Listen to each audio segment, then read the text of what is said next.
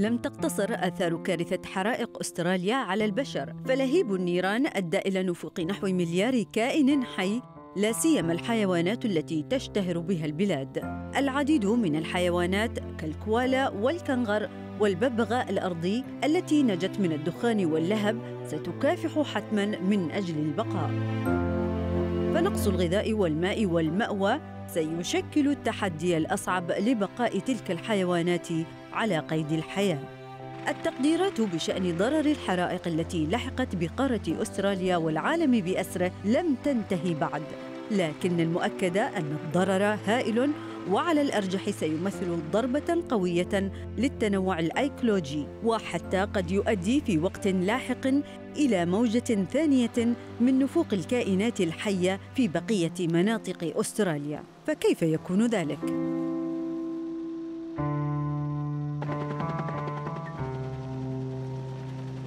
الحشرات تمثل أكثر من 90% من التنوع الفطري ومسؤولة عن الحفاظ على توازن الحياة على كوكب الأرض. لذا فإن أي اختلال في أعداد وتنوع الحشرات يعني اختلال المنظومة البيئية بأكملها وربما انهيارها بصفتها حلقة الوصل بين جميع الكائنات الحية واختفاؤها يعرض كائنات كثيرة للانقراض. العالم يحتاج إلى الحشرات للمساعدة في نشر جراثيم الفطريات المحلية والحفاظ على صحة الغابات وأدائها. والنباتات تعتمد بشكل رئيسي على الحشرات لتتكاثر. هي أيضاً مصدر غذائي حيوي لمجموعة واسعة من الثدييات والطيور والزواحف والأسماك والأنواع البرمائية.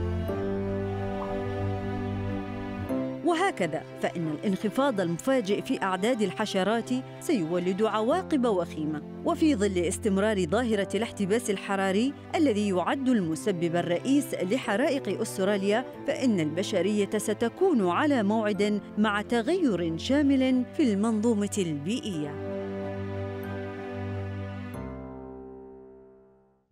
وينضم إلينا من بيروت الخبير البيئي حبيب معلوف. سيد حبيب أهلا وسهلا بك ضيفا كريما على سكاي نيوز عربية. يعني بعد حرائق أستراليا قديش اليوم بدنا نكون عتلانين هم؟ قد بده يكون عندنا نوع من مشكلة مع هذا الموضوع؟ الإحصاء اليوم إلى أي مدى يشير إلى كوارث في هذا الإطار؟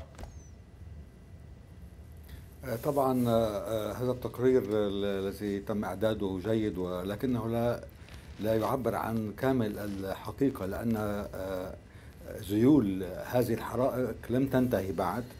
آه، هناك الكثير من الكائنات عندما ولا سيما الحيوانات عندما تفقد المأوى وعندما تفقد الغذاء وعندما تفقد الأماكن التي كانت تلجأ إليها لمواجهة أعدائها الطبيعيين آه، تصبح فريسة لحيوانات أخرى.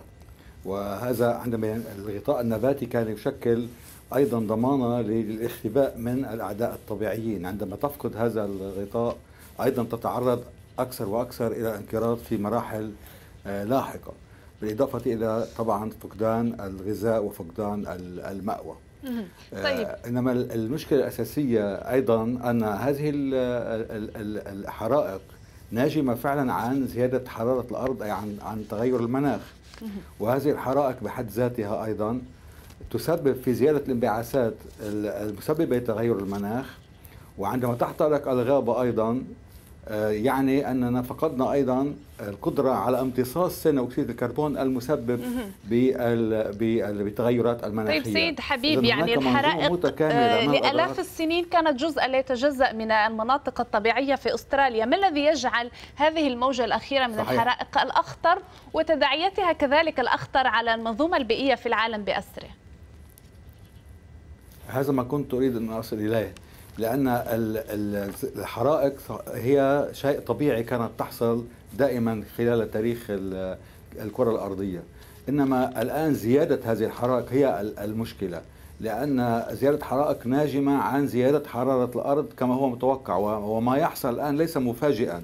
كل التقارير الدورية منذ بداية منذ بداية العام 1970 إلى العام 1990 كل كل التقارير كانت تركز على هذه الناحية أن تغير المناخ حاصل فعلا أن هناك زيادة في حرارة الأرض، زيادة الجفاف، سيكون هناك ينجم عن ذلك زيادة كبيرة في الحرائق التي ستخرج عن السيطرة في الكثير من المناطق. إذا موضوع تغير المناخ جوهري وأساسي في هذا الموضوع لفهم ماذا يحصل والحرائق بحد ذاتها عندما طيب. تحصل سيد حبيب نحن هذا العام كنا يعني إذا بدنا نحكي من اليوم لسنة إلى الخلف نحن أمام كارثتين كبريين عم نحكي عن الأمازون حرائق هائلة وعم نحكي عن أستراليا حرائق هائلة أيضا وغير مسبوقة تأثيرهما باثنين اليوم على الكرة الأرضية. إلى أي مدى نحن أمام خطر محدق بنا وكبير؟ نعم ونسيت أيضا العام الماضي الحياة الحرائق في الولايات المتحدة الأمريكية في الكثير من من الولايات. اذا الحرائق تحصل في كل اصقاع العالم والمخاطر تزداد أكثر فأكثر.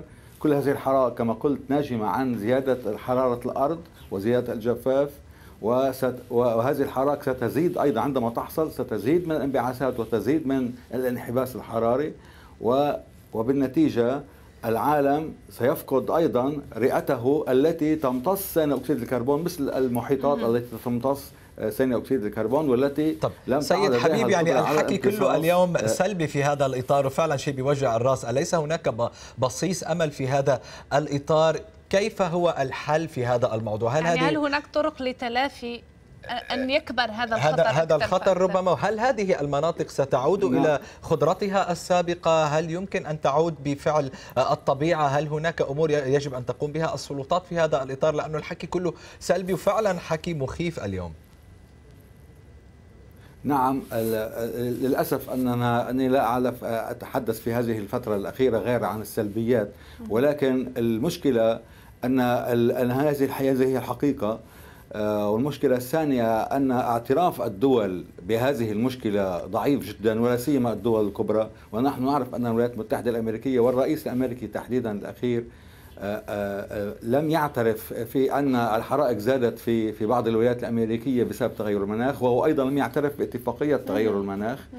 وليس هناك من أمل غير أن الطبيعة بحد ذاتها ممكن في بعض الأحيان بعض تعرف أن الحرائق عادة آه، تضرب أكثر شيء الزواحف والحشرات كما قال التقرير.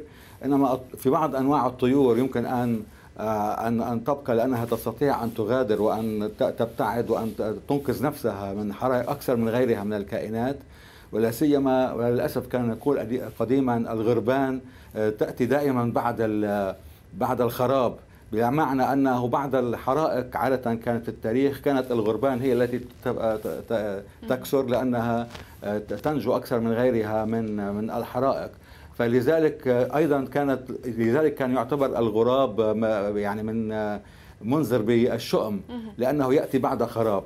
فهو ليس يأتي بعد خراب ولكنه هو يستطيع أن يتأقلم أكثر مع الكوارث ويستطيع أن يصمد وأن يعيش وأن يجدد وأن يساهم في تجديد الحياة في الغابات وفي المناطق التي كانت يعني منتعشة وثم ضربتها النار فإذا هناك نحن نأمل الآن أن يكون هناك الكثير من الغربان نعم. تأتي بعد آه، وتعيش بعد الحرائق وتساهم في إعادة التنوع البيولوجي إلى المناطق المحترقة في العالم. شكرا جزيلا الخبير البيئي حبيب معلوف. كنت معنا مباشرة من بيروت.